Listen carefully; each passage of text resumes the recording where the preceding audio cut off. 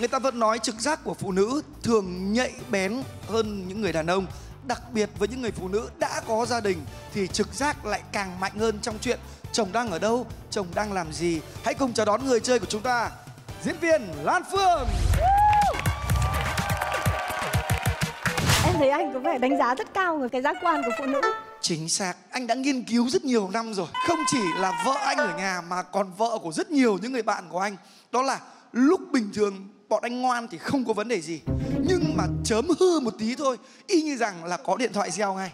Anh đang ở đâu đấy? Anh đang làm gì đấy? Em đã bao giờ em đã có trực giác như thế và kiểm tra ờ, ông xã nhà mình chưa? Hiện tại thì chồng em đang ngoan Nhưng mà anh nói như thế làm cho em cảm thấy tự tin một chút Để là mình không lo lắng là lỡ đến một ngày chồng bất thình lình cảm thấy là không nên ngoan một tí Thì là mình sẽ đột nhiên có cái trực giác mình đoán ra luôn Em nghĩ là em có giác quan thứ bảy chứ em lại không có giác quan thứ sáu Giác quan thứ bảy của nó là gì? Giác quan thứ bảy của em là lúc nói đúng lúc nói sai Chúng ta sẽ cùng gặp gỡ với 6 vị khách bí ẩn hôm nay. Xin mời. Một gương mặt rất bí hiểm anh ạ. Với cái cự ly tiếp cận gần như vậy Tụi em đã nghiệm ra được một điều. Cái đôi bàn tay anh số 3 Quang Trung nói là Tại sao đen hơn cơ thể của anh nhiều quá? Tại vì dính mực xăm. Hoặc là anh đang đánh cái gì lên để che đi hình xăm của mình? Nếu mà nói về thợ xăm nhá, bởi vì nhá, một người thợ xăm cũng giống như một người nghệ sĩ. Bởi vì một người thợ xăm họ không chỉ vẽ mà họ còn là những người cực kỳ tỉ mỉ.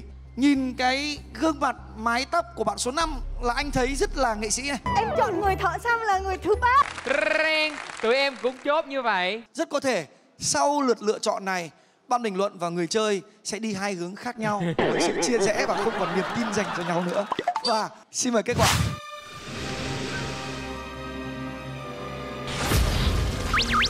Họ Tụi em mới mới ngủ dậy Chuyện gì vậy mấy anh chị